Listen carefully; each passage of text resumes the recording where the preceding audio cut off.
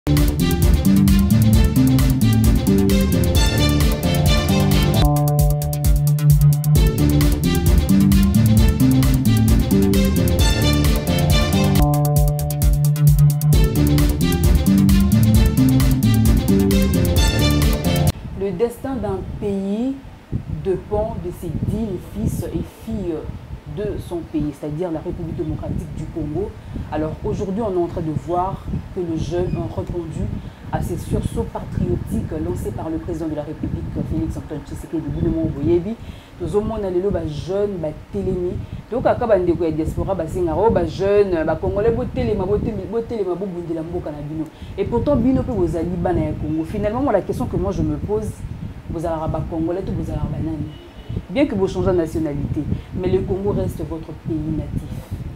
Est-ce que bo tikala raka kuna pona ko juger mboka na bino, pona ko sepela na ba mboka bato mususu? Pourquoi ne pas retourner au pays pour investir à Kinshasa? Alors aujourd'hui on est en train de voir le Wazalendo, les patriotes,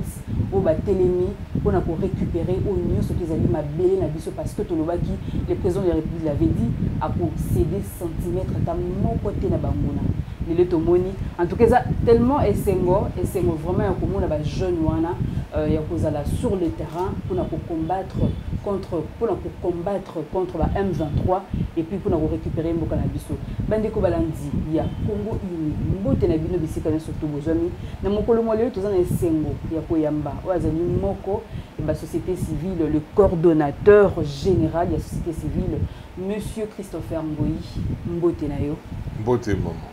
Nasepeli koyamba yo na mokolo mwa lelo na chaîne na biso ya Congo Uni. Euh, la première question d'abord oyo ezali sentiment na yo en tant que mwana ya mboka ya komona ete ba jeune wana lelo oyo bazwi maboko na makolo batelemi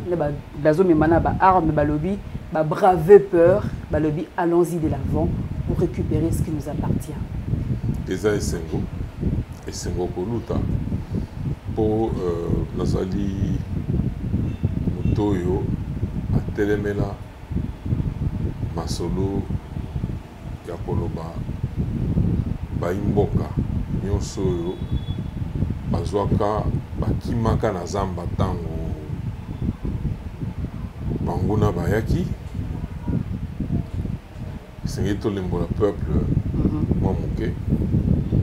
ntango afdel akotaka awa nsima na yango bayokani te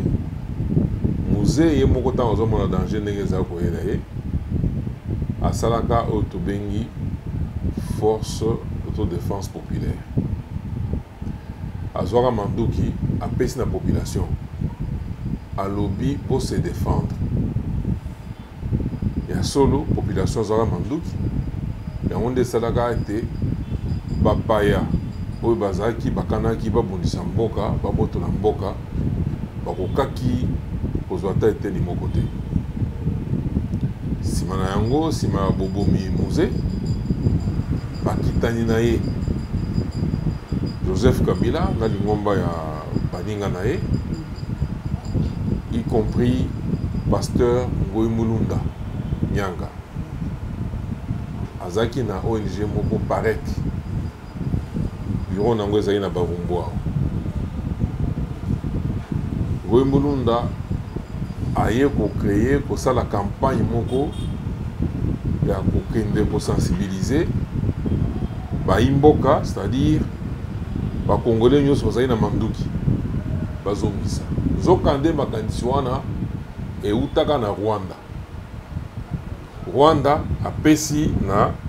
euh, moto na bango kabila kabila azwi mwana mboka ngoyi mulunda donc rwanda moto na bango kabila Mais oui, wana eyebanaki quand même parce que tango Kabila azali na pouvoir atikala jamais kobundisa Rwanda to kozwa mikano oyo ekoki kosala ke Rwanda influence ya Rwanda esila na kati ya mboka. Mais à un moment alobaki il faut plus faire confiance à Kagame et puis na MONUSCO bo contestaka pe tozoyeba. Eh wana nde soki tosali pression pression pression ekolâche mwa ba biloko wana mais en réalité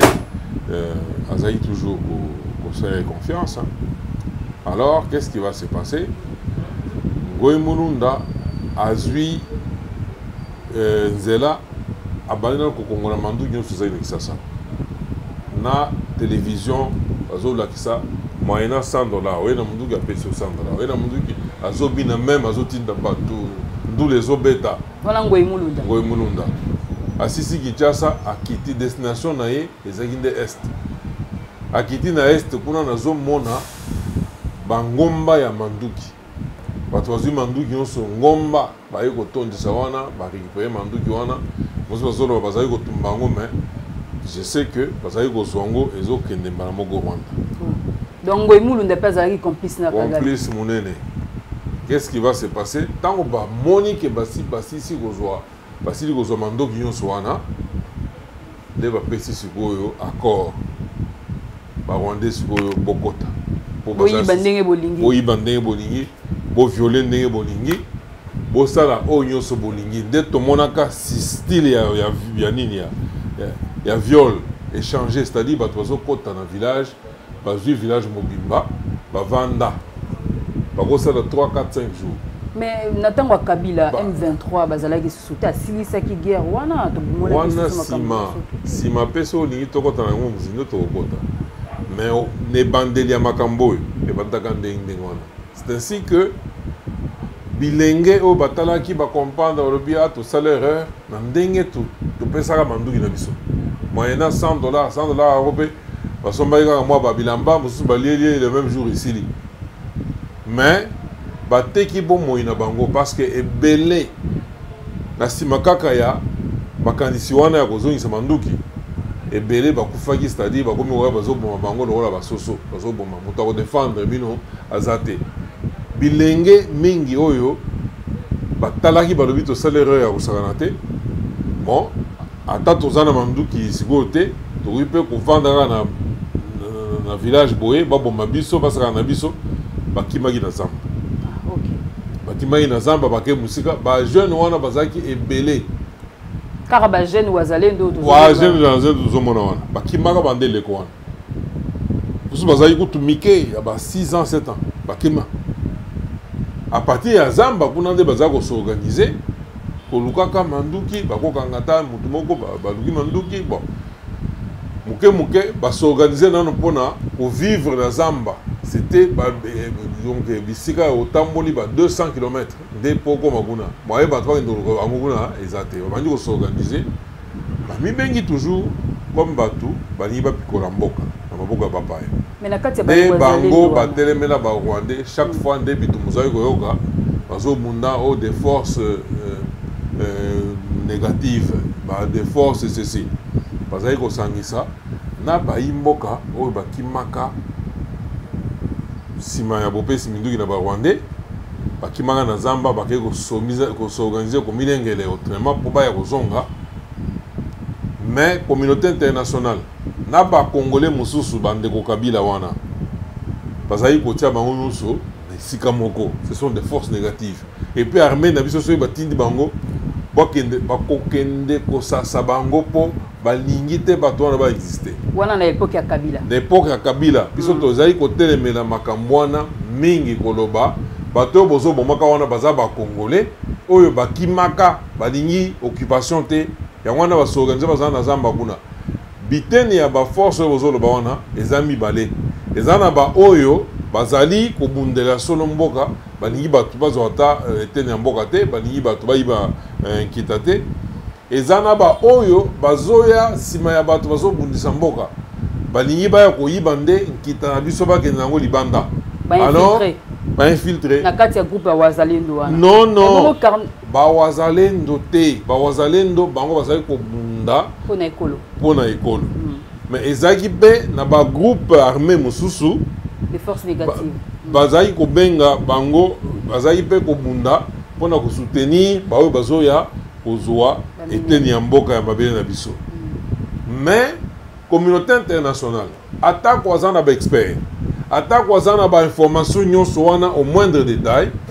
azali kosangisa bango nyonso esika moko ce sont des forces négatives faut kobomba bango et tout ça mingi mingi même ntango baza koatake baforce négative wana Okomona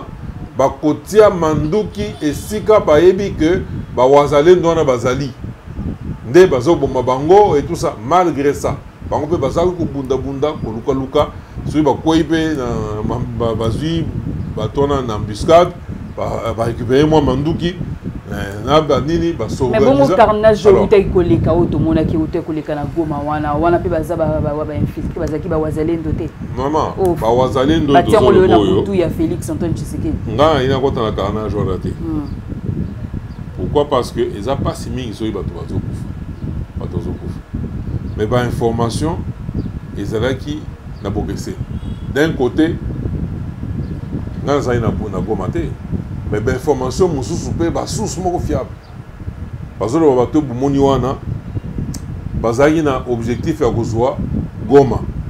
kosala action moko en pleine ville basurprendre baza na bacachette d'arme basi pala balingi basurprendre bazwa goma alors basalaki stratégie ya kosangana na bacongolais mosusu bayebi likambo te mais baoyo bayebi likambo bazalaka na kati wana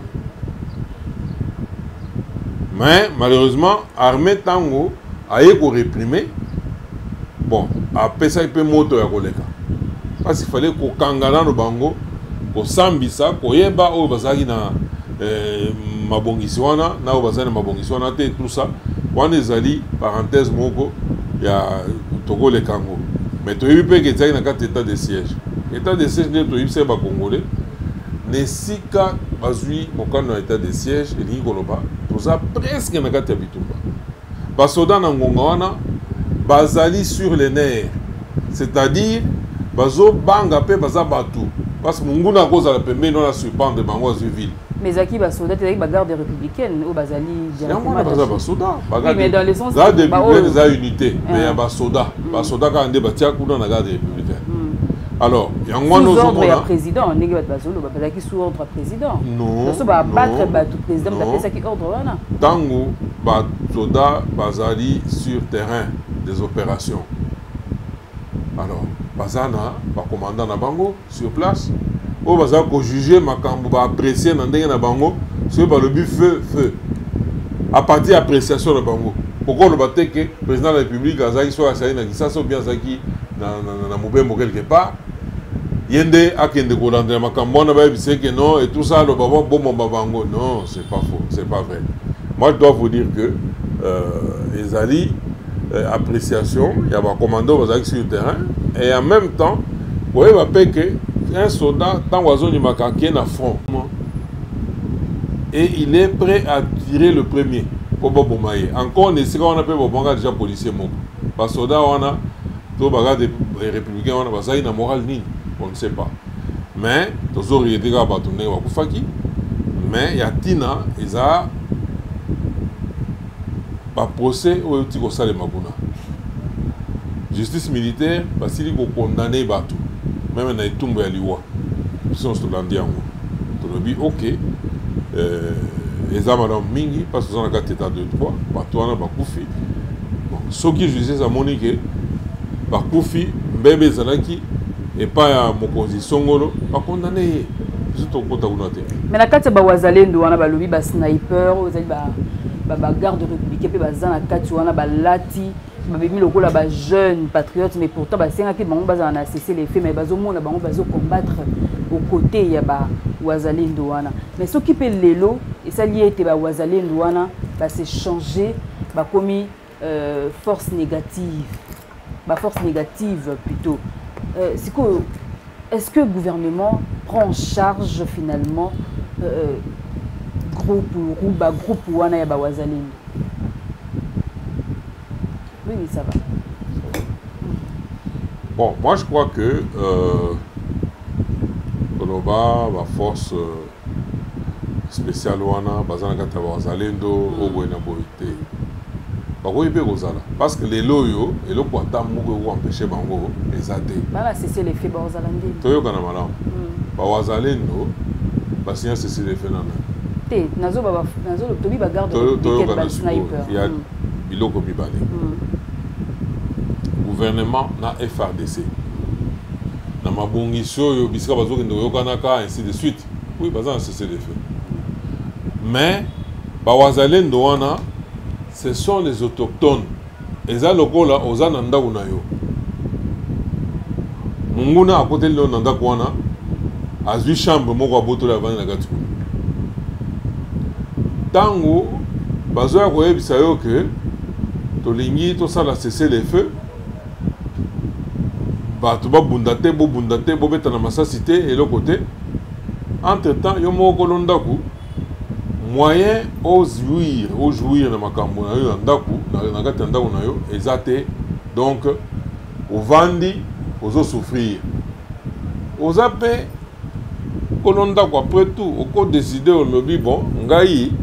nakozela te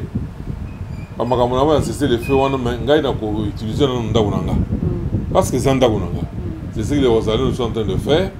Wana eza mabele na bango. Eza mabele ya ba congolais, eza mabele ya ba koko na bango ainsi de suite. Baza na droit meme au niveau international ya ko récupérer mabele na bango wana bavanda c'est ce qu'ils sont en train de faire en ce moment bamakambo ya basese le feu wana mm. etali bango te atako gouvernement azo respecte sese le feu mm. bango eza village na bango eza bandako na bango bakorécupere yango baza makambo ya selefe wana alors monsieur christopher olite quand même mpona départ ya joseph kabila tozoyeba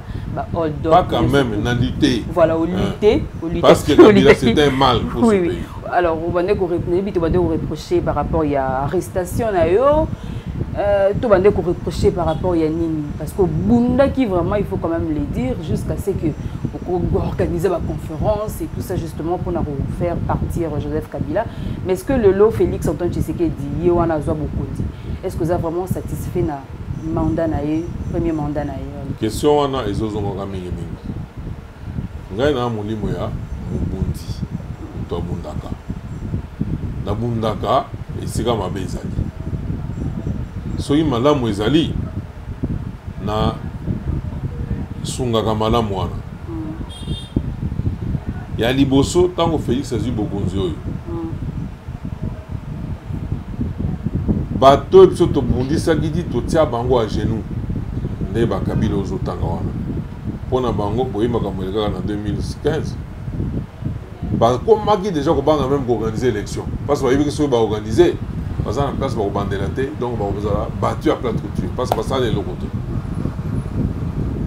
yango nde bazwaki makanisi ya kosala glissement terme glissement wana euti epanaka ok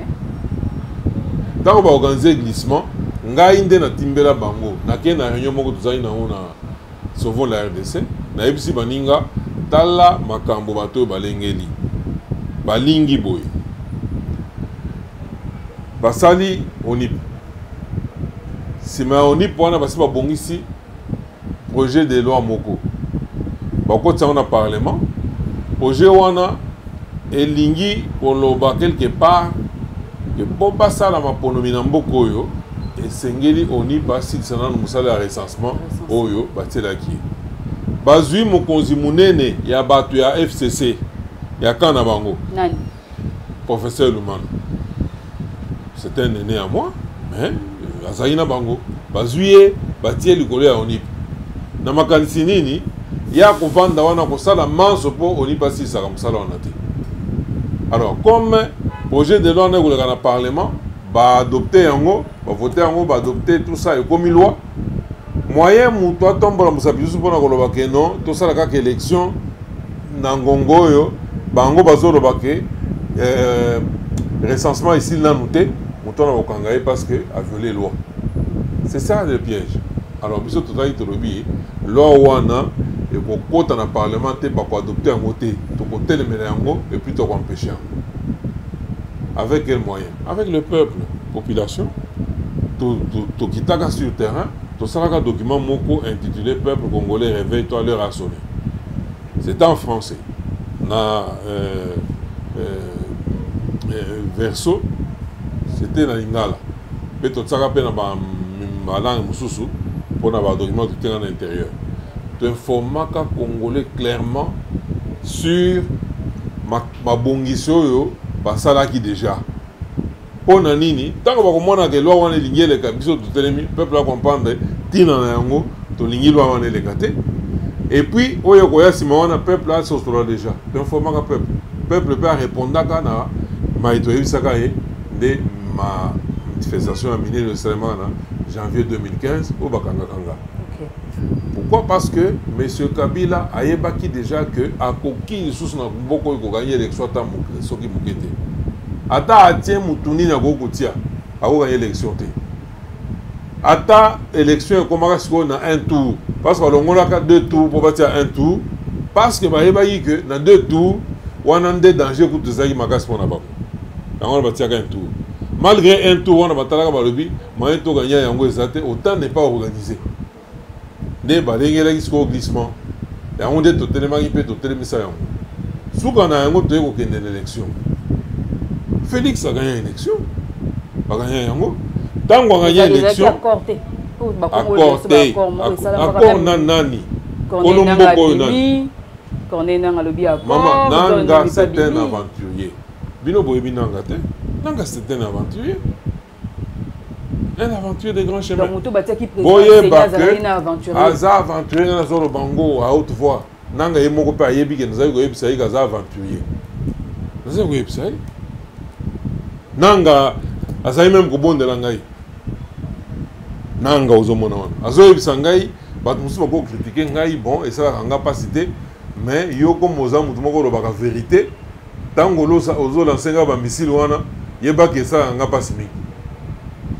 Donc euh, to to to signer to fumer calumet de feu. Euh, calumet de paix.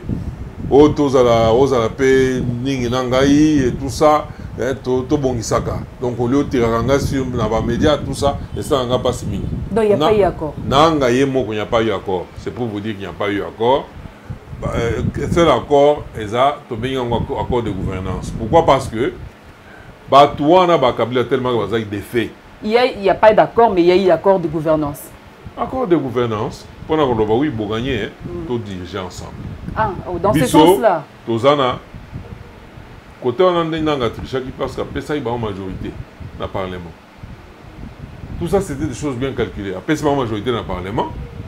Pourquoi Parce que l'élection présidentielle, c'était difficile, pas tricher.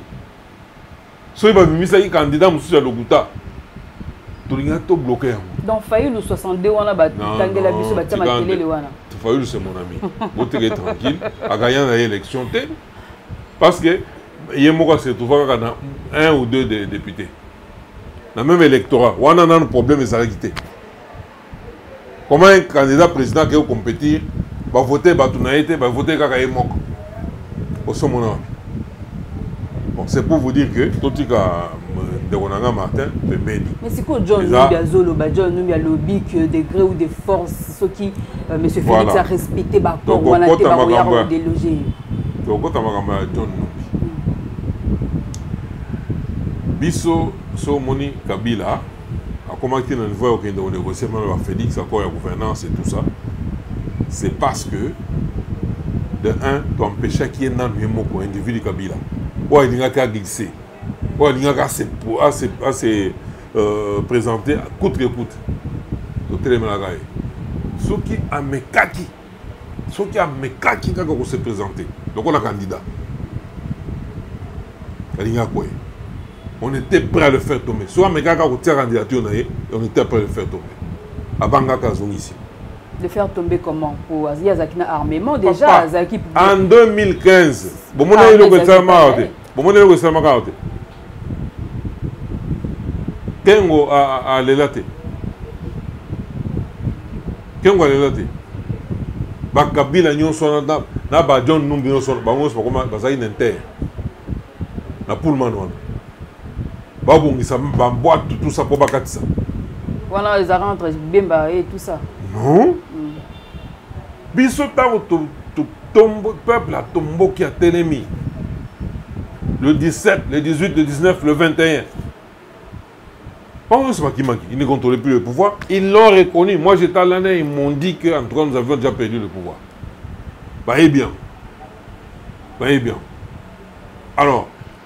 bayebaki bien que soki kabila ameki ko se présenter lisusu tolingi tozongisa eloko wana bayebaki lisusu ke soki batriche vote bayibi vote ya président parce que bayibaka déjà vote ya liboso ya etienne tshisekedi na 2011 wana mpe bayibaka lisusu wana bayibaka soki bamekaki parce que yeba ke etienne tshisekedi aganye élection na 2011 kanda oyo bato bazalaki nango wana nde etindaki bango na 2018 bavote sumana na ye makasi mais ntango nazomona des aventuriers célèbres aganyaki te bango boganyaki par quelle magie parce que jusqu'à un jour des élections ngai naosala na fayu comment jusqu'à présent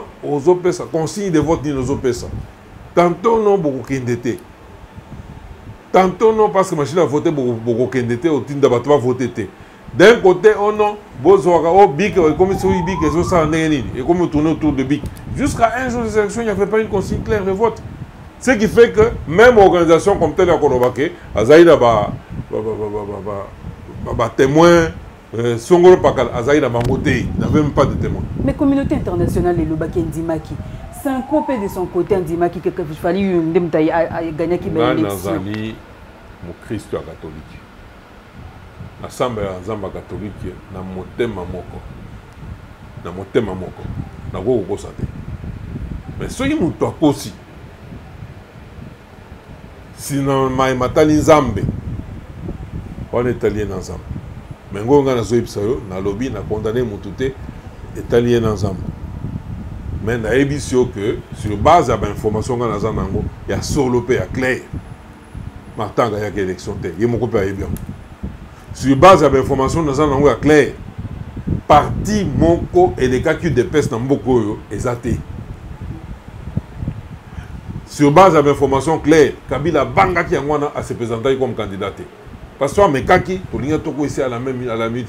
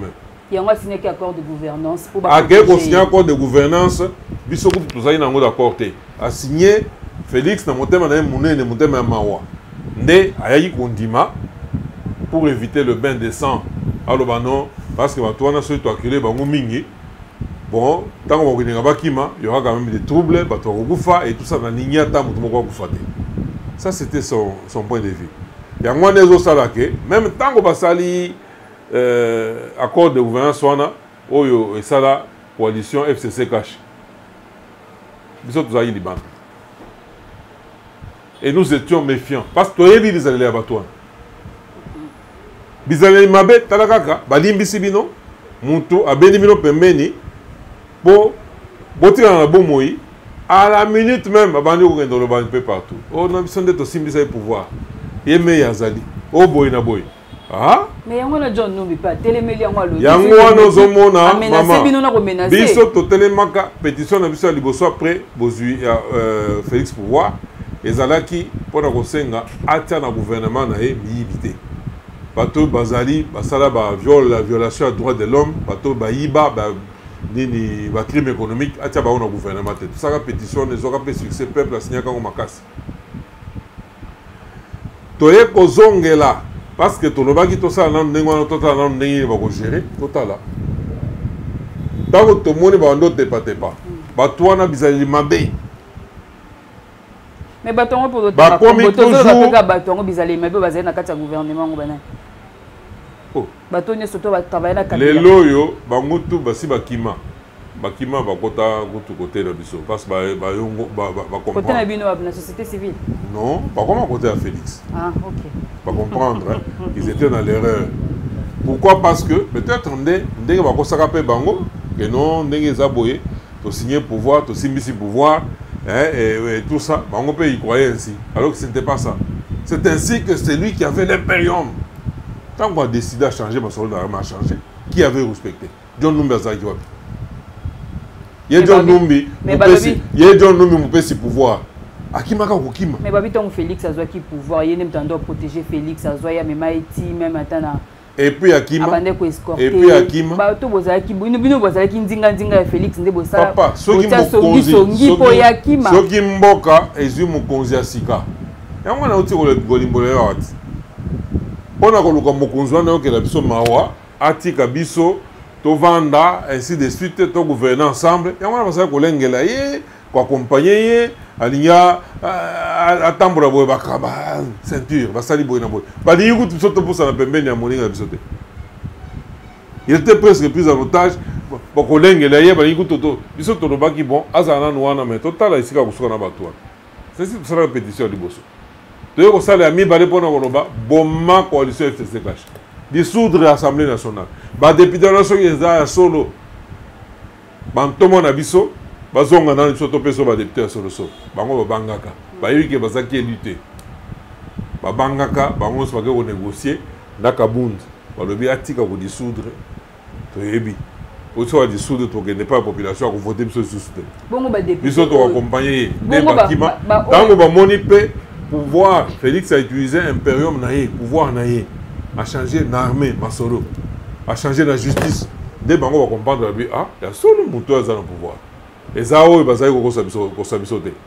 nde basusumuki bakomi juste nde bango nyonso baye kolanda sikoyo félix Merci. me bongo badepute oyo baza na assemblée nationale yo sepe na mosala bango basali banda na manda na bango nyonso to eloko nini bango basali oyo population mpe akoki soki alingi avote bango akovote bango te mpo na badepute oyo aza na assemblée nationale sikoyo mosusu basali hmm. mosusu mpe basali eloko te hmm. mais nakosenga na population ajuge A vote lipa te, a vote masanga te, a vote bivotela te.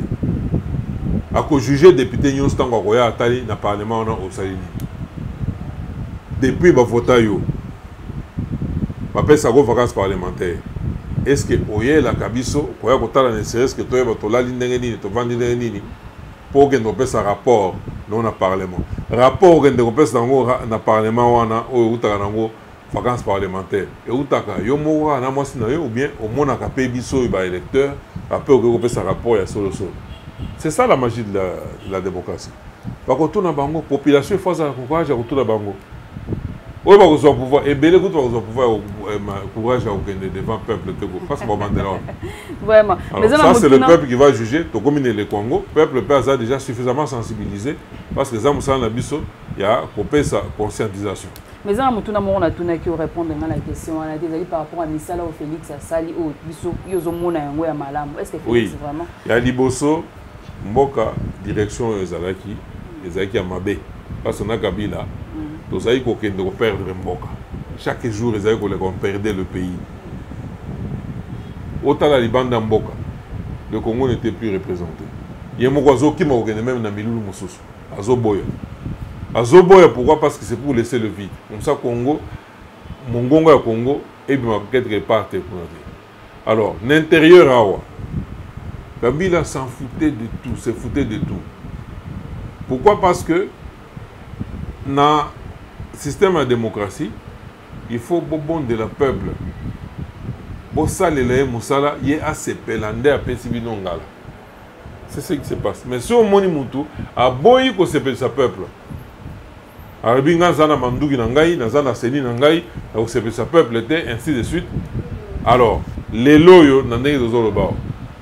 félix deke avandi na ebonga liboso ntango azalaki kosangana na bato wana atia pa liboso boye babende nsima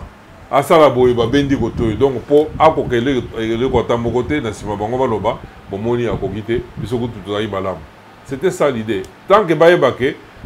na nsima ya makambo nyonso wana peuple nde azosouffrir sikoyo maye félix asali hmm.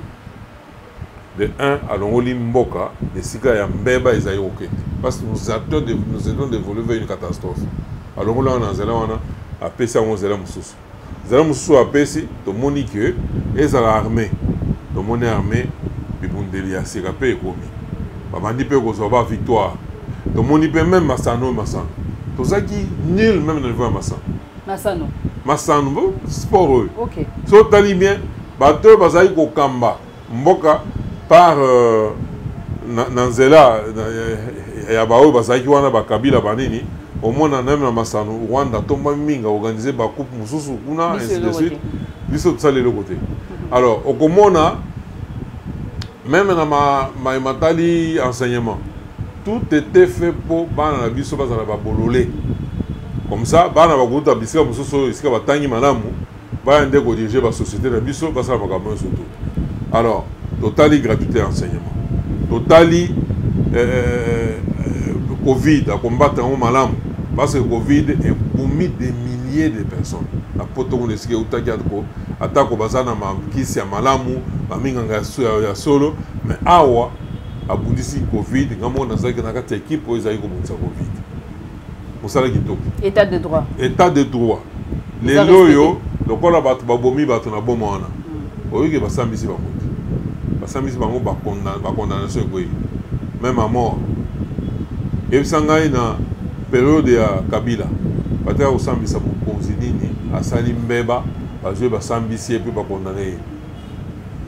john numbi oyo abomaka chebeya na moi makasi atikala kutu kocomparaître aya jour moko na nini comme simple renseignant epe azotala boye azotala boye bajuge azoseka bango intouchable abima akenda Stanis, Stanis Boujakira, Boujakira, je crois. Excusez-moi pour oui, le nom. Maman. Bakangi de ko Salomon Kalonda. Omoni ngai ndenge nazoloba wa, il faut na na fongo la peuple miso, mm. na limbo la peuple. N'allons pas faire l'amalgame. Amalgame elingi koloba nini? Eza na bandeko bozo créer makambo likambo eza ya solo te parce que oza mopanzi sango ocreye likambo na yo parce que mindele oyo bazolinga bakotisa mobulu bakotisa boyeke na mito ya bakongole batinda yo ndenge oza wana marlene balobi koma eloko boye panza okomona ntango je ne sais pas soki yanda akomaki ou bien nini mais Euh, il faut que Mouvé Kenda akomaki te Stani c'est un petit que j'aime beaucoup nayebi ye mpe toyebani na ye bien mais ntango biloko wana ekomami oyo oh, jeune afrique moto abimisi yango mm. okomona koma ezalaki mabongisi na bango jeune afrique abimisi rfi arécupere yango mbala moko asaleli yango donc nzembo mikolo nyonso wana kaka yango kaka yango kaka yango likambo eza ya lokuta balingi bakomisa yango ya solo alors que na bankete wana meme baexpert international baza na kati ya nkete wana c'est-à-dire baza sense koyeba vérité la lutte contre la, alors, la corruption basali biloko wana mm. nde eloko etindi petit na biso que j'aime beaucoup azala mokangemi bakangisi ye bakangisi ye on ne peut pas dire qu'il y a un problème avec l'état de droit quand même donc totolere ke moto ata atelemi boye alobi makambo ya lokuta bakanga ye te mpo aza mopanzi sango parce que nous sommes dans l'état de droit wana eza anarchie otuni makambo la lutte contre la corruption oyo eza biloko bino boprometaki mpo réaliser yango azokana lelo nga naza pca naza pca naza pca soki bino bozolela o oh non okomi pca oza kaka ndenge ozalaki Tout ça parce que maman, surveillance oyo IGF azotia na makambo etali misolo ya l'État, à moins que na décidé que nakenda makala wana nde nakosimba misolo wana. Badetournement eza esu te. Badetournement en tout cas nandimi te. Mhm. Oyo ezomonanaki esalemi azokangama bato azokangama mais il faut koyeba ke na culture na biso bacongolais esebeba pourquoi parce que mutu meme ndenge naza cpa wana oyebi pression nini ngai nazozwa te parce que tout le monde dit comme aza cpa wana ya solo akoyiba kaka misolo alors aza na misolo il faut apesa biso sur 8 coups de fil 8 de coups de fil sur 10 nazozwa eza bosengi pesa biso boye garanti ya ndako ngai boye na boye etusa nga kotuna me kaka mwa salaire oyo nazozwa kuna kaka salaire wana nde nga moko nameka mpe kovivre normalement epuis nabanda kofuta bagaranti bapromi nyonso ya bagaranti ya ndako bafacture ya bahopitaux banini nisa vous ne trouverez pas que vous me demandez un peu trop vraiment et même quand so oyebisi bato ke non toprogramme ndenge osengi wana nga mpe nalukaluka Mais na tiango na programme. Tango na kozwa na kopesa. Oh non! Nous allons terminer hein, oui. hein, justement avec euh, cette, euh, cette C'est pour dire que oui. Félix azosala mosala kitoko. Et puis Alors, par rapport... ye. Oui. Tokosoutenir ye. Topesa ce mandat mosusu a continuer parce que ce total est madame. Il n'a travaillé pendant deux ans et demi. deux années liboso wana bazali kotepatepa na oyo na uti oexplike oyo na bato oyo mokwege mpe aza candidat détail obosana kobosana mpe te mokwege aza docteur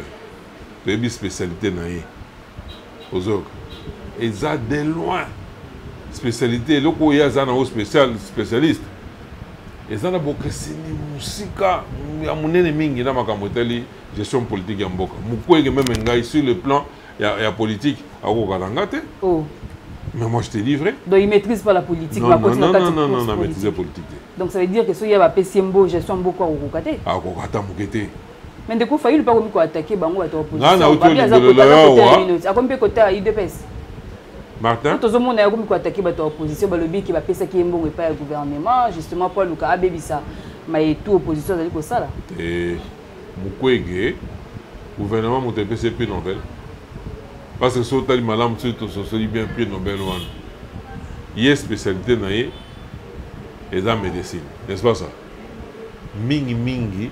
ba prix Nobel ezalaka na recherche fondamentale.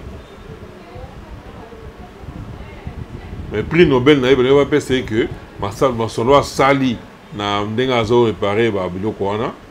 Hein, c'est une très bonne chose, azoya une expertise monene ko réparer ka yango ainsi de suite. Ba ba pesa prix na branche oyo batali science na maye matali science me bake kopesa epi nobel ya pe eloko wana nde ezalaka pe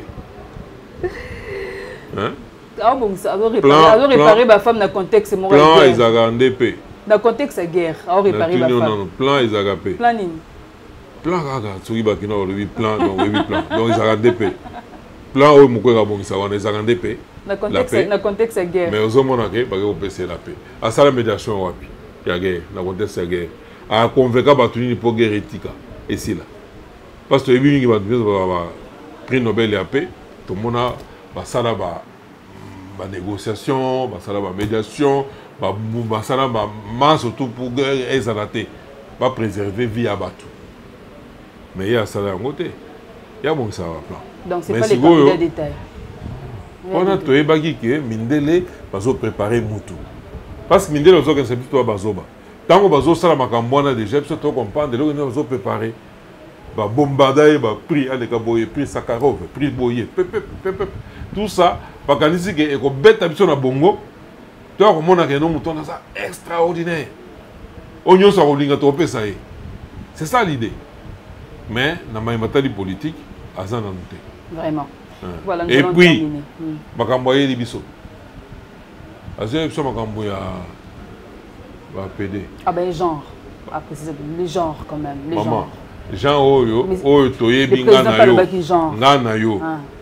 toyebi ke genre ntango tolobaka yango mm.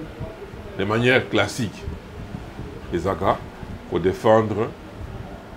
égalité entre la femme et l'homme mm. n'est-ce pas ça ouais. mais genre oyo bakoma koloba mikolo oyo bakata donc c'est-à-dire promotion to respect ya batransgenre nde bakoma koloba genre soki omoni balobeli makambo ya des états-unis mpe alobelaki il avait fait allusion à ça aussi non quand il a parlé de ça il a ah. dit